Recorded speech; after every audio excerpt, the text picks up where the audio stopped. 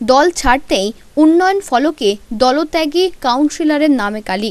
উলুবেড়িয়া পুরসভার আঠাশ নম্বর ওয়ার্ডের কাউন্সিলর থাকাকালীন ওয়ার্ডের বিভিন্ন উন্নয়ন কাজ করেছিলেন উলুবেড়িয়ার পুরসভার প্রাক্তন ভাইস চেয়ারম্যান আব্বাস উদ্দিন খান।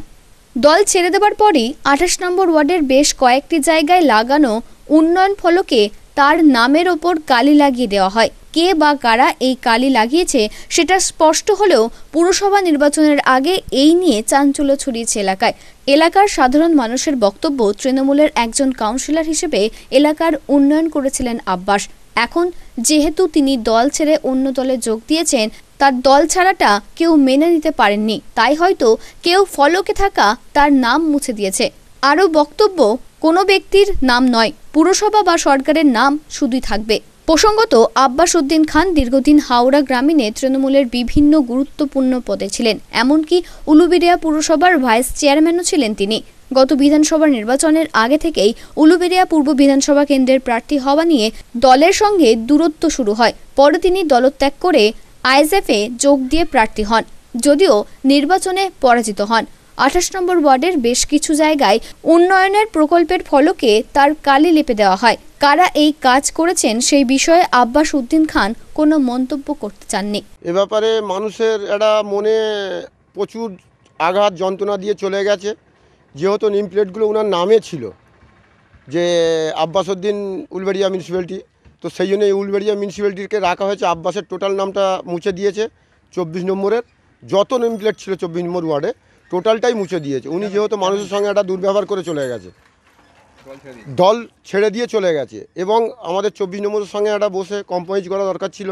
আগামী দিন দীর্ঘদিনের রাজনীতি রাজনীতিটা তো একবারে শেষ হয়নি।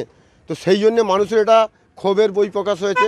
শুধু পৌরসভার নামে যে কোনো জায়গায় যদি কাজ হয় পৌরসভার নামে নিমপ্লেটগুলো যেন থাকে এটা আমাদের পৌরসভা নেতৃত্বের কাছে আমাদের অনুরোধ থাকবে যে এটা পাবলিক করেছে।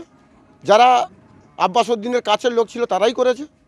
উলুবেড়িয়া পুরসভার মুখ্য প্রশাসক অভয় দাস বলেন, যারা এই কাজটি করেছে, আমার জানা নেই। যেই করে থাকুক না কেন, কাজটি নিন্দনীয়।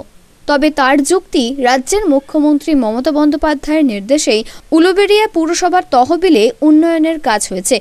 সেই ক্ষেত্রে ফলকে পুরসভার নামের পরিবর্তে অন্য কারও নাম থাকাটা বাঞ্ছনীয়।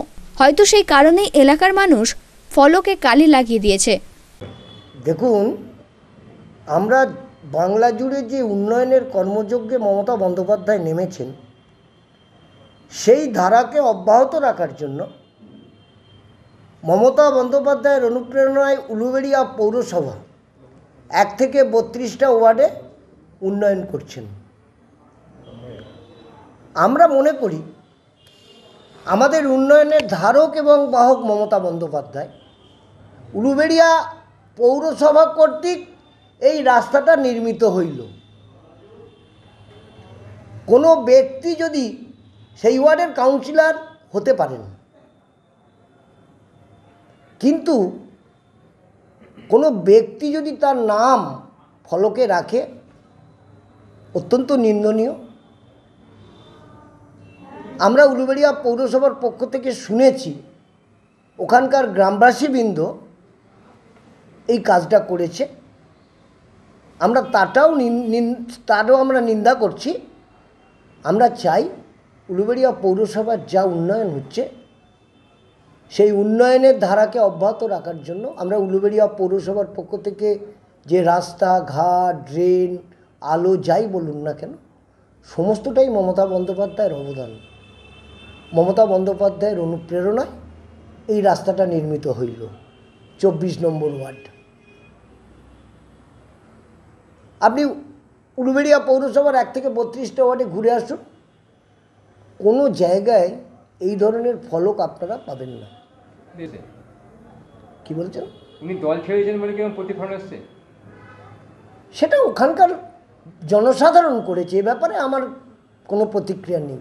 উলুবেড়িয়া থেকে মতিয়ার রহমানের রিপোর্ট আনন্দ বার্তা।